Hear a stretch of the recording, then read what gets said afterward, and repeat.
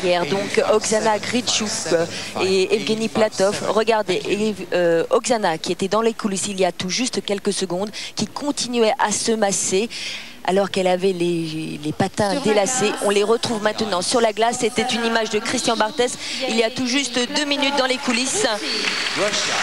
Et voilà donc les champions du monde, Gritchuk, Platov, vainqueur du skate américain. Premier après le programme court, ils ont déjà 12 points dans le Grand Prix. Oh bah j'ai envie de dire, malheureusement, c'est ce qui se fait de mieux dans la danse sur glace en ce moment, non? C'est ce qui se fait de mieux. C'est vrai que pour l'instant, euh, ce sont un peu nos rivaux. Maintenant, euh, à l'heure actuelle, euh, on les regarde avec nos yeux de téléspectateurs et on espère très prochainement les chatouiller de très près pour pouvoir éventuellement grimper sur une marche que tous les Français espèrent pour nous et un thème musical un petit peu identique à celui de Marina et Gwendal, des danses latino-américaines. Et regardez l'incroyable dextérité de la jeune fille, elle est très vive, elle bouge très bien son corps et au niveau des patins, ça va excessivement vite.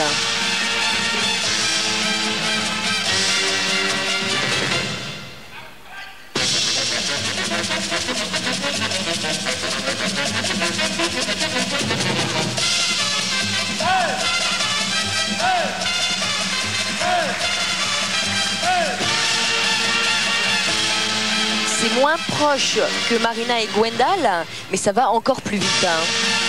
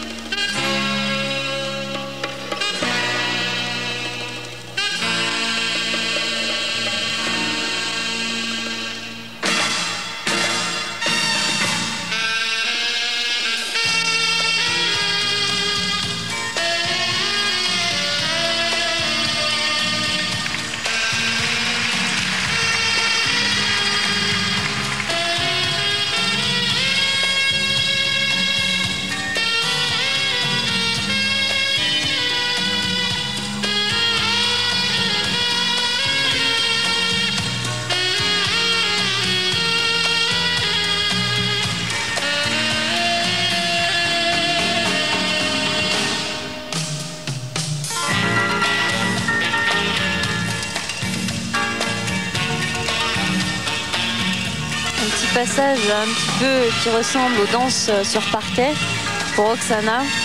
Elle dévoile encore plus euh, son charme et puis sa, sa sensualité, on pourrait dire Roger. Ah oui, je suis assez d'accord, assez d'accord avec vous.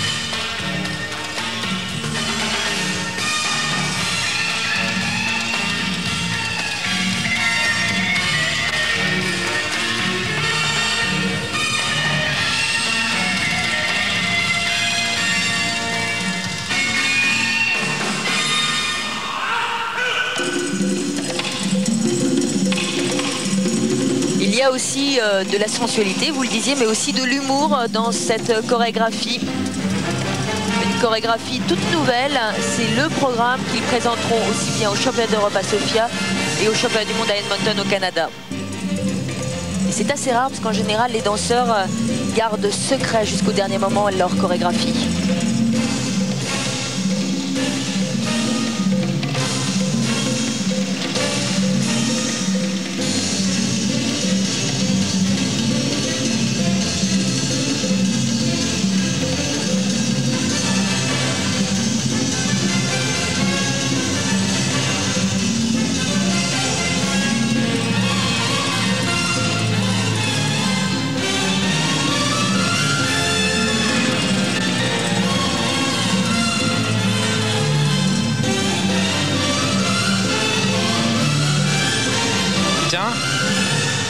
Ça me rappelle quelque chose.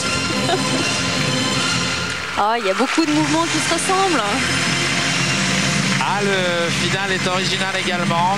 Petite euh, pirouette, mais effectivement, juste avant d'en terminer avec leur programme, on a retrouvé l'une à peu près l'une des figures que faisaient euh, Pascal et, Sophie dans leur programme euh, de la saison dernière qu'on appelait nous la crêpe. La crêpe, la fameuse crêpe. La fameuse crêpe qui m'a provoqué d'ailleurs cette, cette fracture et entorse.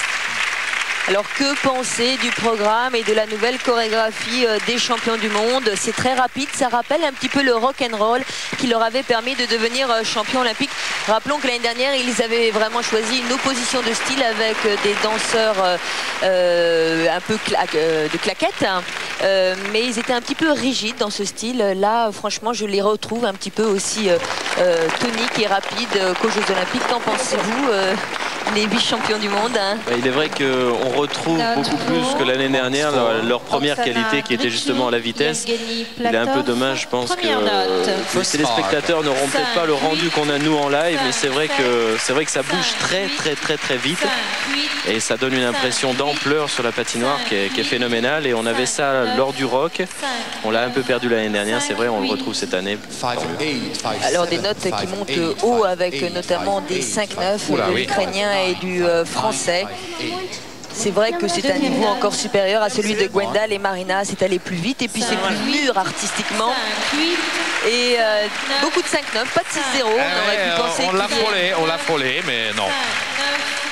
Rappelons que ce couple a hésité un moment euh, à passer professionnel, mais que finalement ils ont préféré rester dans le giron amateur, car rappelons que ce Grand Prix, euh, la nouveauté aussi, ce sont des compétitions dotées, et c'est important pour ces Russes euh, qui s'entraînent aux États-Unis.